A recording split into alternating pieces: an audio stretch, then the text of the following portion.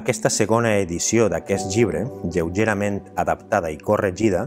veu la llum al cap de 10 anys exactes de l'aparició de la primera per commemorar el desè aniversari del decés de l'autor pare i sobretot per continuar contribuint a la pervivència de la cuina i la cultura del gust de Castelló. Des de sempre, els éssers humans han tingut la necessitat de mesurar el temps per poder anticipar-se i preparar els ritmes de vida, tant en l'àmbit particular com en el col·lectiu. Per això, totes les civilitzacions inventaren calendaris en funció dels cicles naturals i els del Sol i la Lluna, per poder organitzar de manera pràctica el treball, el lleure o el descans, les festes i les commemoracions.